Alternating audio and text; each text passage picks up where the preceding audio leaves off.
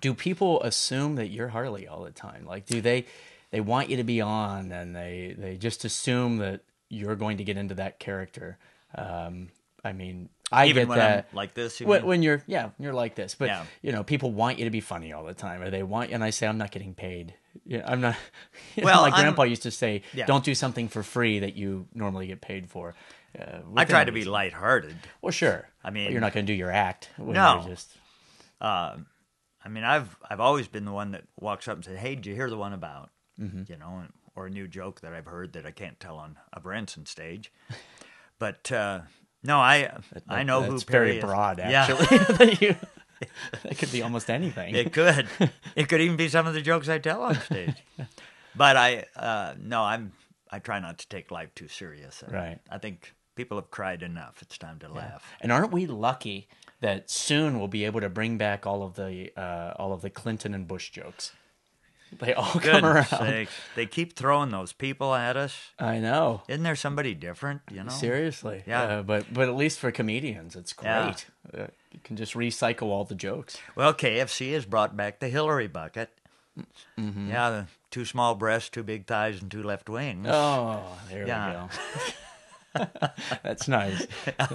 Now, you have to take one of those things out of the, the menu and on stage. the wing, the left yeah, wings. the wings. Yeah. they don't like the left wings here.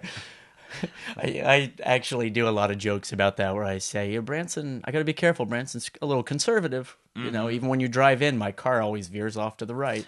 You know, that sort of thing. Sure. Uh, but um, uh, after your shows, do you meet the crowd after the show? Oh, sure. Yeah, you go out, and I'm sure, just like me, you you get people that say, "Have you heard this one?" and they want to share jokes. And I'm doing a survey with comedians. I would say eight out of ten times. Okay, which that's like thirty percent, Yeah. It's Uh, almost half. almost. Yeah.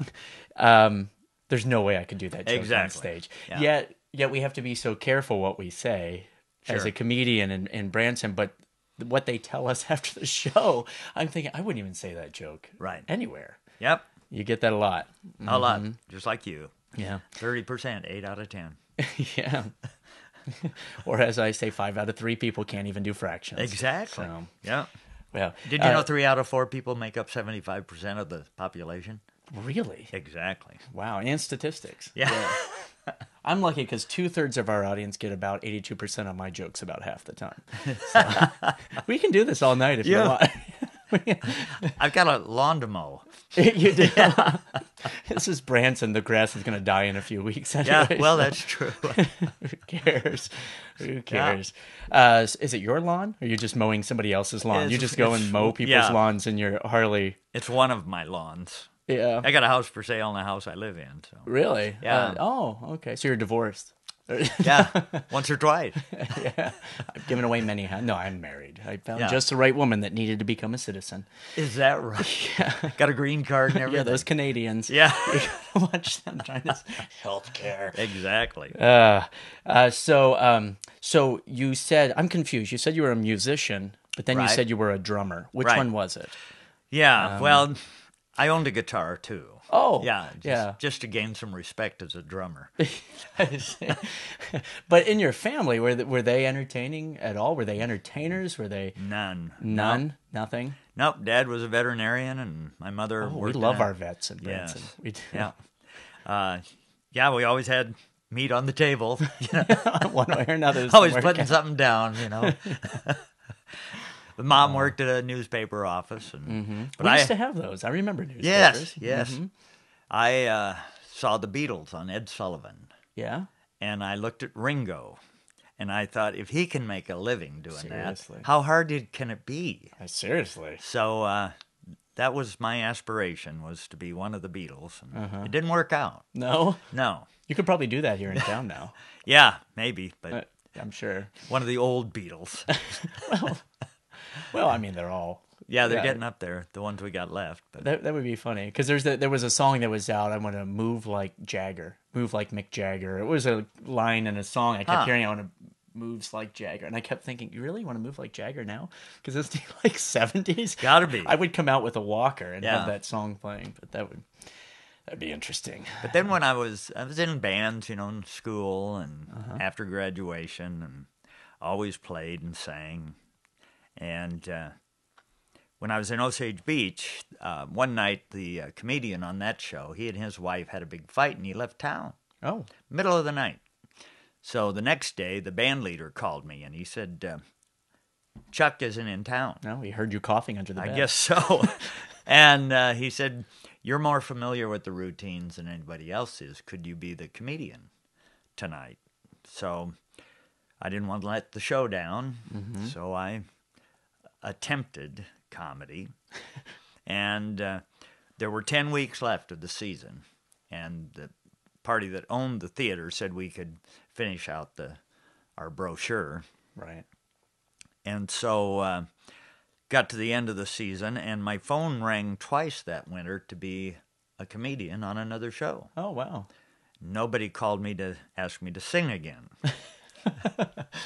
so I thought, well, I might as well. Uh, I've been handed lemons. yeah, Perry, could you not sing? It sounds Yeah. like a whale being tortured. yeah, dying rabbit. So uh, I thought, well, I might as well work harder at being a better comedian. Mm-hmm. And uh, I'd rather be a comedian with a job than a singer looking for one. right. And so that was what I There you go. That happens a lot, actually, uh, because my background is doing magic, and I got a comedy club gig. It was the same thing. Can you Mm-hmm. MC? Our MC's out. Could you do the MCing? Fine. That went well. We'd like to feature you one night. We have a big name coming into town. Well, it snowed, and he couldn't make it. Uh, but we still had the crowd there, and they said, We'd like you to be the headliner. So I go from being open mic night to headliner in about a week and a half. And all the other comedians hated me because they had worked so long. But it was interesting. Like Yeah. you'd be surprised. We were talking about that before we started. How sometimes we get jobs just because people have other obligations, or you never know what's Right. going to happen. You can work really hard at something, and you know. Yeah. And Yeah. I worked really hard at being a drag racer, but I couldn't wear the heels. It was Is just that very- right? No, I'm kidding. I, I, I could. They were fine. Yeah. Got used to it. yeah. Yeah, there was a comedian in town that uh, kept turning down work, and he'd tell him to call me. I had a great year that year. Yeah. What is that? Who does that? yeah. I say that all the time. I, I the, people will call me and so and so isn't interested in doing this. Would you? And I'm like, yes, Yeah. yeah, sure, I'll take it. Right. Are you paying me? Yes. Or I say that all the time when I'm at a gig.